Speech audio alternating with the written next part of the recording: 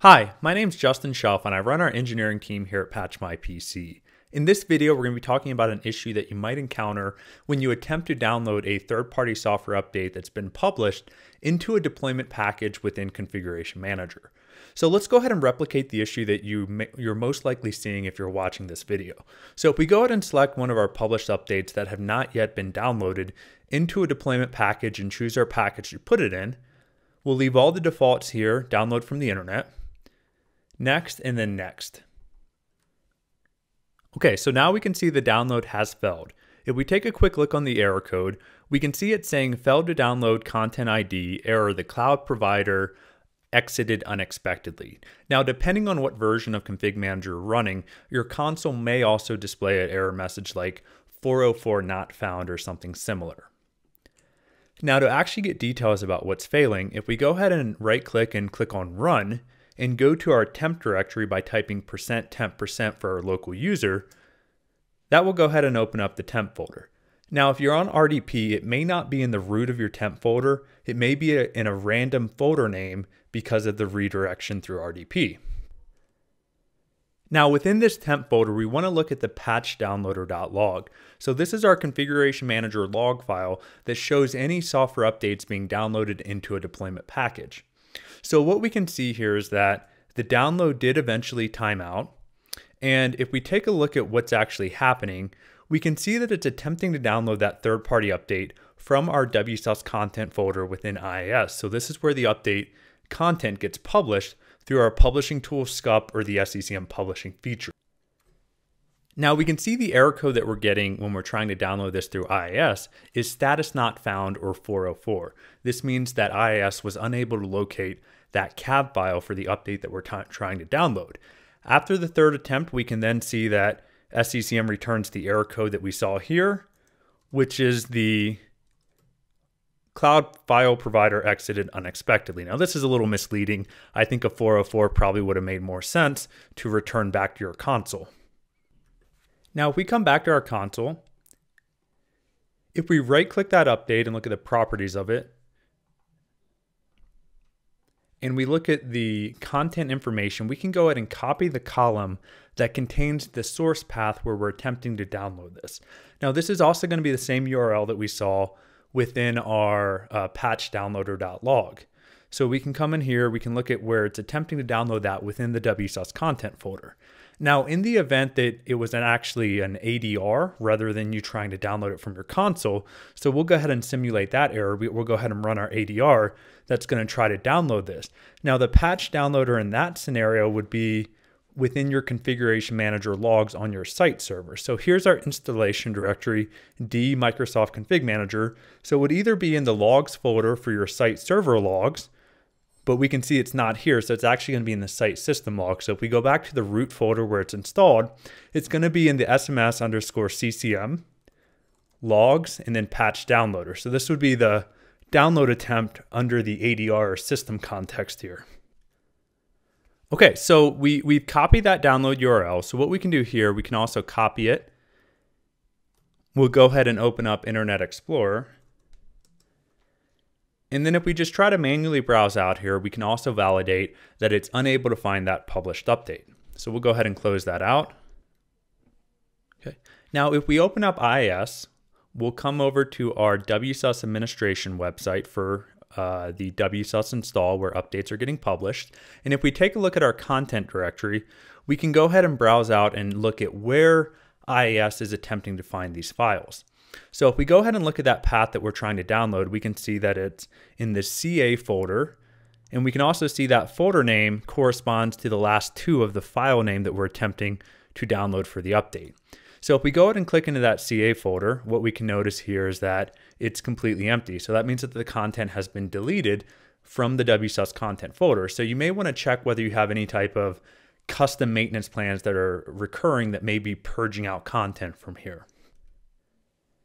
Now, another thing that we've seen, we've seen that if you actually put your WSUS content source location and you're pointing that to the WSUS content share, that can also have SCCM automatically delete some of the content within the WSUS uh, content folder. So we'll include this query. This would allow you to search out for any of your deployment packages to check whether they're using any WSUS content path or the WSUS Update Service Pack folder. And if they are, you would want to make sure that rather than saving your deployment packages within SCCM, which you can see here in your console, rather than saving them into the WSUS content, which is really reserved for just the WSUS content itself for EULAs and any third party updates, you would want to save that out to like a common source path that is not associated with WSUS. So somewhere else where you may have packet source files, for example.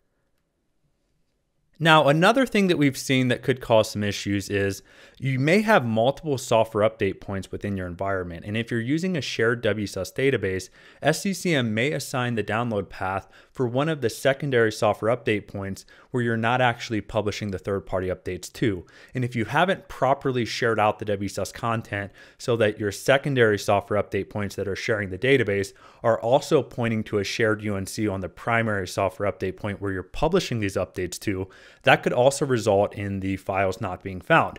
Now, we have a separate video that goes through configuring a shared WSUS content path if that's a scenario that you think you may be in. Now for this one, we do in fact see that we did have a sample deployment package pointing out to that WSUS content.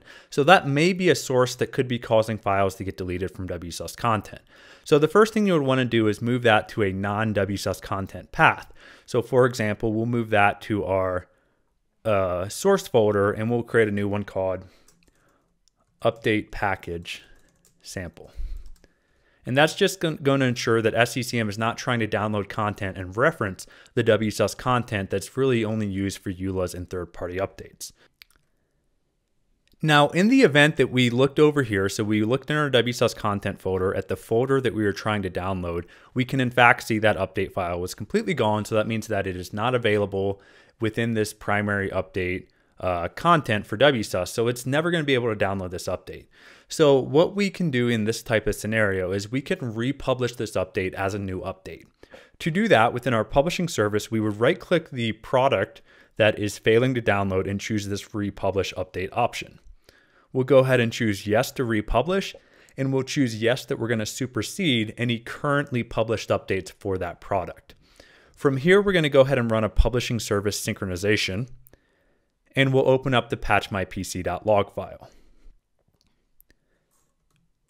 Within this, we're going to see that it's going to republish any third-party updates for that product, and it's going to append the date for when you publish that update.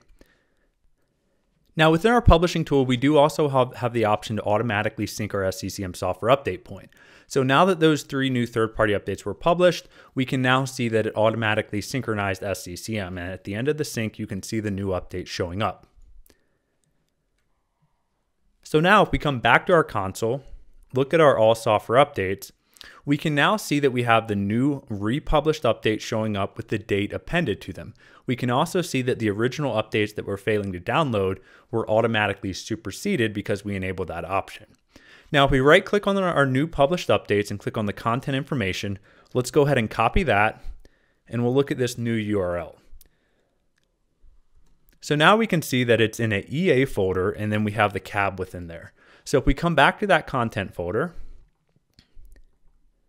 and we look at the EA folder, we can see that the cab file is in fact in the correct place. So if we come back to the console and try to re-download this, it should be successfully now that the update was republished.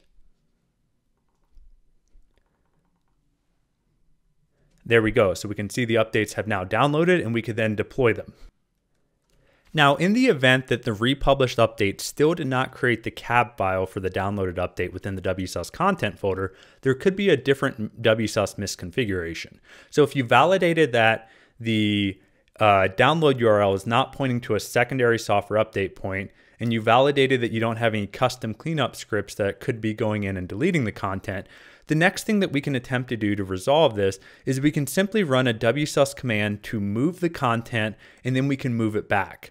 So if IIS is in fact pointing to the correct location that you expect updates to be published for your content folder, we'll go ahead and do a temporary move.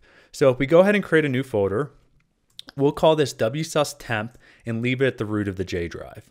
We'll go ahead and copy that path. We'll open up a command prompt as admin. We're going to then cd into the program files, update services, and then the tools folder. From here, we're going to have a wsusutil command. The wsusutil move content will allow us to move the wsus content folder on this server, and we're going to point it to that new temp path. And we want to make sure that we append a skip copy parameter so that it doesn't attempt to copy any of the current data within wsus content to the new folder because we're going to essentially move this back, and this can resolve some issues where update content may not be uh, published correctly. And then we're going to give it a log location. So we're going to call it wsus temp at the root of C. We can now see the move command has completed. So if we open up the registry and look at software, Microsoft, update services, server, and then setup, and do a quick refresh here, we can see that the WSUS content folder is in fact pointing to the new temp path that we defined here. Now, if we go ahead and go to IIS and do a quick refresh, we can also see that the content here, if we look at the folder path, is also correctly pointed to the new temp folder. We moved it. So now at this point, since we have a move completed, we now want to move it back to the original location. So I'm just going to go ahead and repaste in my command and we're going to move it back to just the JWSUS folder. So this is back where it was initially configured and doing that move command to get it back can sometimes fix different issues where publishing may not successfully do the cab file. Now this command may take a few minutes within your environment, but it looks like it's already completed. So we'll quickly go back to our registry, do a quick refresh, and we can now see that it's at the JWSUS. If we go back to IIS and do a refresh, we can also see that the configuration is now at the JWSUS as well. So now that we did a move just to temporarily see if this would work, if you were to come back into our publishing tool, we could enable a product or we could right click and republish an update that you may still be having issues with. In our case, we'll just enable something new to see if the content works successfully. So I'll go ahead and run a sync. We'll look at our publishing log.